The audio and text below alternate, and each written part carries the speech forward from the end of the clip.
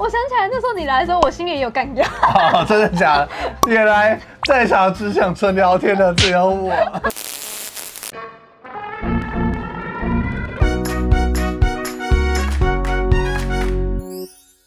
好，大家好，我是林星。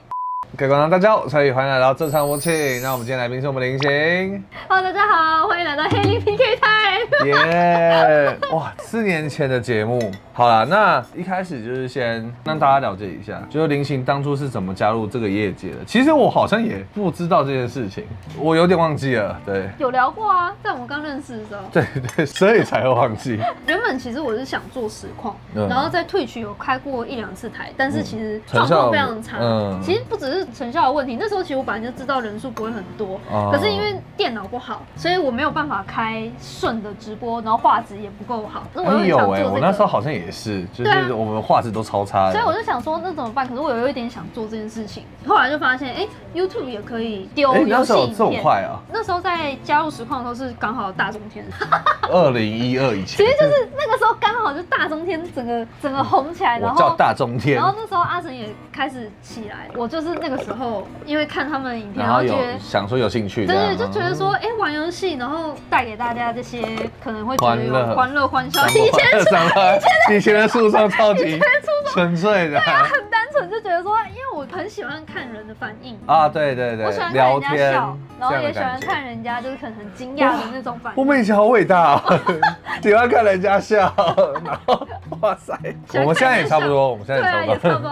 那为什么叫菱形？其实我以前的网络上的网名有菱形的这个菱，叫什么就紫菱啊，啊紫色紫菱形。啊？有有有，然后我想说做这个东西，我有点想换一个，就是哦完全全新的名称这样就是不要让大家联想到我以前这个这个名字其他的东西嗯，对对对。那我要取一个简单然后好记的名字，然后又不会撞名，因为那个时候超多人取什么小小什么小什么，然后就是哦好像有，很容易撞名。酷然后我就想说，那如果从零的话，发想会有什么？哎，就突然想到菱然后。菱形这样。然后想说，应该也不会有人取菱形的名字，它就是很图形的一种对对对很日常的东西。然后又不中二对对对对，就好像还行。啊，那时候就有一个抱负，觉得说，如果我用菱形这个名字真的有稍微做出来，嗯然后大家都知道我的时候，大家在网上查不会只查到图形，而是会查到我。其实现在就会，现在就会查到对啊，就是那个时候有这样子的一哦，个很屌哦哎呦，还不错，你成功了。对，没有，我现在过气了，没有，你现在没发片我现。在啊我前天有发片四个礼拜前有发片，对对对我有看到动身的嘛。对，动身其实有帮你看，效果还不错，然后大家也还蛮爱看的，而且是直播记录。嗯，那你之后有打算就是要长期剪动身影片之类的吗？有啊有啊，应该说，因为我其实近期很常开动身哦，有，还蛮长的。所以我最近就是都有在剪那个动身的精华。啊就是有打算把他们都一点一点还是剪出来啦有剪的对对对，然后也有在玩别的游戏，然后可能就剪一剪他们的精哦，华。你还要玩什么其他游戏？就前几天公主连接，因为公主连接最近就是刚好进入一个剧情的终章，很多人就是这个时候回坑，或者是这个时候很多哦，时新手加入。间点这样。对对对，这个时间点加入其实还蛮好的，哦，所以你也有拍公主连接。就是有开直播抽啦，哦，那还行啊。就是有在剪这样。动森我觉得可以多出，现在正正行，可以多剪一些。其实我觉得我觉得快退了，真的，我觉得有一种快退了。那么快。因为动森，你你知道，就是玩到五星的之后，然后你钱赚很多之后，嗯有些玩家就因此就是可能会觉得这个游戏暂时就可以不用那么积极的去。对对，其实会啊，其实会，对啊还是会。可是现在我觉得还热潮上有一点是，你不知道 Switch，对对对对对，所以一堆人还在找。对啊，对。哦，有一个，这个是我想蛮久了。其实大家都知道，通常恋人在热恋期过后，其实会趋于稳定。然后你们两个偏向于感觉还在热恋期的嗯 feel，、对，一直呈现这样，而且持续超久。对，这一点蛮屌的，这个真的是我觉得很厉害。那想问说，就是平常会吵架吗？我们其实真的不算是会吵，嗯，只是我们有时候观念不同的时候，就是会稍微的争论。我们双方就是把自己的想法讲出来，然后只是有时候我不小心小委屈的时候，我就会哭，然后他哎、就对，他就会安慰我啊，就是他就会抱抱啊，然后什么的，就就安慰这样子。我你这个没用的男人，我觉得他这样做很好、啊，很好很好因为女生其实真的在情绪上的时候，你真的不能跟他硬碰硬。真的。因为他就是在情绪上，他基本上就是会把你讲的所有话没有办法完全理性的去吸收到脑到脑子里面，对对对对。然后男方这时候很去安抚你的说啊没事，乖，你很棒，你很厉害啊什么的，就一直一直安抚，这样其实很好，很有用，对对对，而且还是我教他的。所以你们大概频率是可能一两周争执一次？算吧，应该算吧。那有没有大争执过吗？大吵架？我觉得不太可能没有啦。哎呦，那你们你还记得是因为什么吵吗？我先跟大家讲一件事情，就是这个人在邀我这趟模型的时候，我还没有看到大纲前，我就已经想说他到底会问我什么问题。然后我跟 A 姐一致认为他一定会问我们到底有没有吵过架，然后吵什么东西。你看，我们都已经想好了。哇，那你有备然后，而然后，然后，然。后你知道最好笑的是什么吗就我们讲完这件事情之后，我们开始在理清从我们交往到现在大吵过的每一件事情。哦，然后太好了，然后他说不是啊，这什么？就开始争执，因为我们大多大吵都是，当然是偏向观念嗯差太多，然后所以可能他会觉得莫名其妙，然后我我会觉得委屈，因为我会希望他理解，就是为什么我是这样觉得，嗯但是他可能就会觉得说，就是没有那么严重或者什么的，之类的对对对对，我可以提一个或两个就好了。可以啊，可以啊，可以啊。我觉得有一个很尴尬的，就是我们吵那个床垫的事情。床垫，就是我们刚开始要出去同居，然后我们同居就是去买床垫，宜家的床垫嘛。对，我们要买床垫。那时候我们逛逛逛，他就有看到一个很很大的床垫，然后他有分几个尺寸，嗯。然后那时候他就想要买最大的，嗯，我就说我想要买就是那个最大小一号的，他那时候就是不愿意买这个尺寸，这个 size，因为他觉得就是他就是想要买大床，嗯然后可是我觉得这两个有一点价差。差多少？你还记得？那时候我们我们在回想的时候，好像说是五六千吧。哦，那还真的有价差。可是他觉得，因为那个时候他负担得起那个价格，哦而且买了就是永久，不需要什么还不需要要换之类的。对，不需要还要再付钱还是什么的，他就觉得说要买就买最就是最可以我要就要要最大的。我那时候就有为此稍微算有吵起来，在商场，没有，就是呃回去一路上。从买好了，就是我后来妥协，他买那个大床，嗯可是我就一直就是一直在解释说为什么我会希望就是买小床，对对对然后就他就觉得说这很莫名其妙，我就想要大床啊，然后我就跟他讲说，我觉得你可以负担得了就好啦，但是有点委屈，就是觉得说，因为我家里就是有一些，对对对，我有一点金钱观念被嗯灌输，觉得说就是要要省钱，只是没有必要到那么大，然后那么贵，可然后哎这也是觉得他可以负担得起。他，对啊，他可以负担，他就觉得也合理啦，也合对啊理，。我后来就是有妥协这件事情，然后也觉得是 OK 的 OK 的然后当然买回来是我们两个也都满意的。啊因为真的大一点，其实我们睡得也来比较舒适舒适。对，因为有时候可能他会踢啊，或我也会吵架的时候可以背我也会对背踢这样。没有，我们每天睡觉都背对背，哇，原来是感情不好的部分。没有啦。然后这件事情就有大吵过啊，可是基本上我们讨论完了之后就就还好了。尊重对方的呃想法跟观念，就那其实很。OK 啦，我觉得还蛮顺利的。那第二个嘞，第二个哦，我听得很开心。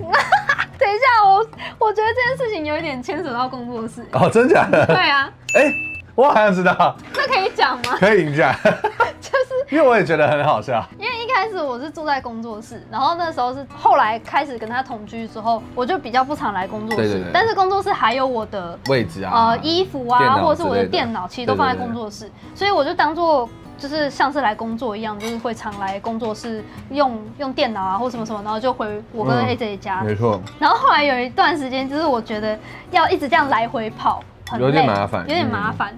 然后我们就开始讨论说，就是我有点想买一个新的笔电，嗯这样我可以携带，或者是万一回到个工作我们家的时候、嗯还可以用可以用。嗯，就他觉得说，那你干脆直接把桌垫就搬来我们家，然后就是嗯不需要还留在这里啊。嗯然后我那时候说，我觉得我如果把电脑拿走的话，这里就不会有我的归属跟我的位而且置。而且他说黑羽一定会把我的位置全部移掉。然后叫我把我的东西全部清掉。他那个时候跟你还没有很熟，对，他说他应该不会这样吧？对，然后我就说不要会，然后我就是跟他吵这件事，他 超相信我，他觉得我不会。然。后我跟黑宇聊这件事情说，我说我会，我说我当然会啊，你当然拿走了。因为我了解他就是会这样对啊。他他超聊我，他说我一定会把他位置清掉。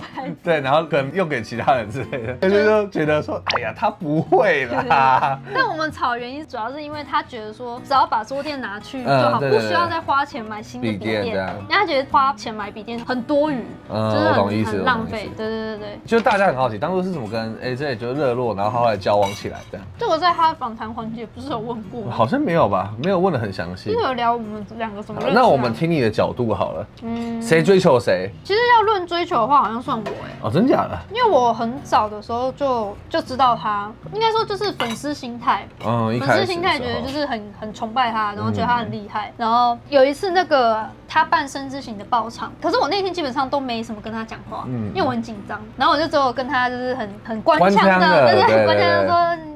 哎，这你好，我是林行，就是也有在做 YouTube 影片什么嗯。他说哦，有有有。然后后来就是这件事情之后，我们就没什么再联，就是有嗯有任何的接触。是后来我玩完枪弹辩驳之后，知道他也是枪弹粉。嗯，啊，我那个期间其实就是刚玩完枪弹，我就是非常想聊枪弹，可是我没什么人可以聊，所以我那时候就看到一些最新消息有什么东西，我就丢给他看。给他看，嗯，我忘记是怎么样，然后我们有要到 FB，哦就是有加到 FB 好友，然后我就私密他，然后就是那时候就有喜欢了那个时候我是慢慢哦，慢慢。有好感，因为就是我忘记 AJ 说他什么时候，工作室 好像是那个，第一次见面的时候啦。对对对对对，可是我们就在网络上跟他聊天的时候，我就觉得跟他聊起来很还还蛮快乐的这样。对，还蛮好聊的，嗯然后、而且也很意外的好聊，因为我对他的印象有一点冷，就是哦我觉得他有一点在跟人保持距离，就是啊就是那个时候啦，所以我就觉得他很不好接近。结果发现聊了之后，哎、意外很还不错聊啊聊，而且我们两个就是聊起来的感觉不会尴尬、哎，就是不像是第一次认识的人一样。嗯，了解。然后所以就聊聊聊，我们就变得有点像朋友，那个时候是偏朋友。嗯然后可是我已经有一点点好感了啦。嗯，了解。后来就是这个人邀了他，邀了很多人来打玩桌游，然后那一天，大家都不是想来打桌游，其实我是蛮雀跃的，好悲，我不知道就是那天我蛮开心。你没有发现吗？我一直拿枪弹的那个设定集，我拿啊。拿枪弹模型给他看。他们两个还站在走廊那边聊天，后来我走过去跟他们一起聊天，然后后来为我要走了，我就走过来拿椅子坐在那边跟他继续聊天，然后他 AJ 说那时候心想说，可以啊，怎么不走？我觉得好笑的是，他交往之后，他有自己跟我讲他是什么时候喜欢上我，然后嗯他觉得也是跟我讲他在那一天，他说看到一个女孩，然后那么快乐、那么开心的一直拿枪弹的东西炫耀给他看，然后他就觉得好疯。然后我是听着觉得很害羞，又觉得很好笑。他就说怎么会有这么可爱的女生一直拿枪弹的东西一直给他炫耀你。知道那天怎么样就完美？那天我不在场就完美了。我想起来那时候你来的时候，我心里也有干掉。哦，真的假的？原来在场只想纯聊天的只有我，废话，我那时候好不容易跟他可以跟他单独聊，我根本就是藤原千花，真的一不模一样。会啦。我怎么可以如此的没有注意到这一块呢？我觉得也很难啦，因为他其实表现的还蛮自然的。对，可是后面其他人我都蛮注意到的。工作室这张红色的沙发很神奇，爬上面睡过的人就会交往，或者是一起坐在这张椅子上看剧的人就会在一起。生气小沙发。你在追我们两个坐在这边看电影呢？我记得你们有在这边睡过。我记得那时候还有人问我说：“哎、他们俩怎么在一起？”我说没有吧。我打从心里觉得嗯没有吧。哎、而且他们第一天跟我讲的时候，我一度觉得我那时候谁骗你是不是他他跟我讲的时候，我当下是这样。我在看有没有摄影机，然后我想说，干骗我吧，就愚人愚人节吧，这样。我那时候是假装，哦，是哦，对我那时候，因为我觉得你应该之后会跟我讲说，哎、s u r p r i s e 骗你的哦这样。过两三天我才发现是真的，因为我不敢直接讲，因为我直接讲觉得干我他妈太丢人了。我就想说，我委婉的跟你讲，哎、最近跟 AJ 怎么样？然后他就聊，然后我开始真的。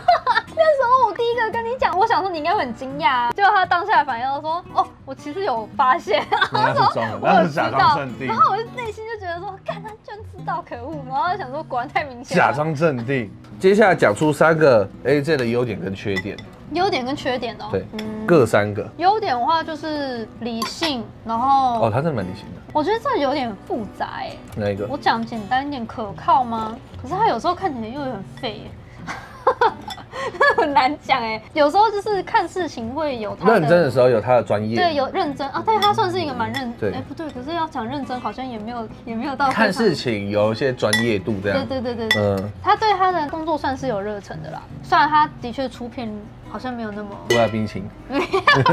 第三个，其实我觉得这比较是我自己嗯私心最大的优点，就是他包容我的一切，他可以包容我所有的东西。这个真的很厉害。因为因为其实我自己一直觉得，我如果交了一个男朋友，一定会有很多条件上面一定会让他很不满。嗯就是我觉得对方一定有很多不能接受我的地方，我觉得一定会有一两点。可是他他虽然可能也有，但他不会因此就否定我或拒绝我这样子，会全部都接受。哇塞，这所以这一点是让我很很开心、很感动的。缺点哦、可是这好像很多男生反正就也会有一点，那个要怎么形容啊？理性这方面也有一点点哦算是，算对对对也算是缺点的层面啦。嗯就是太过理性，有时候在处理一些事情或是沟通上面的时候，有时候他可能会不比较没办法理解我的心情或想法，嗯但是有时候有些东西就是不适合的。当下或者是处理这件事情的时候，会有一点难。这个我也懂，因为我也是。嗯，然后第二个，一定要硬塞出他的缺点吗？太胖，太胖也还好啦。然后说他胖，我好像完全也不会怎么样，就我不会不能接受。太常打牌。可是你看，我都还是让他来打牌啊。OK OK，下一题。你是不是觉得挖不出我想什么他的坏话？最近结婚生子的 YouTube 蛮多的，那你们有讨论过预计什么时候想要结婚吗？目前是没有啦。没有，没有这个打算，我们最一开始交往的时候有聊过这个话题，可是我们基本上是觉得顺，其自然。对对对，然后觉得如果要要结婚，一定是两三年后，或者是三四年后。嗯，差不多啊。现在也才快两年而已了吧？嗯，哦哦，对啊，只是不会那么快啦，因为我们现在都有自己在做的事情。也是。你哪天真的突然听到我们要结婚了，其实也没有很意外啊对，对也不用太意外，因为其实我觉得有时候结婚是一种冲动会。问这点是因为最近收到超多礼盒的，像什么蔡 Boner 的蜜月蛋糕啊，哦在那边，嗯然后做的超好的，然后还有什么老爹的明月蛋糕之类的，哦，很多很多有。最后一题，那你今后有没有什么在频道上的目标？这样我自己其实现在对于自己频道不太敢设立一些目标，因为我真的太不稳定。然后我其实很多东西我都想做做看。我觉得令信比较适合团队，就是嗯以前的话，我每周三都叫他跟凯洛来拍片因，为我不会规划，啊，凯洛回来啦，我们之后就可以在一起拍啦。你要等他隔离完。他快了，他快了，十五号，哦，真的吗他？十五号就结束了。哦那以上就是今天的访谈，大家应该有更了解林星了。那如果喜欢这影片，欢迎在下方留言点喜欢，也可以订阅林星没有更新的频道，然后去催他要更新，订阅，然后关注我们的粉丝团，赞赞我们的林生贵。好，那我们就下部影片再拜拜。啵。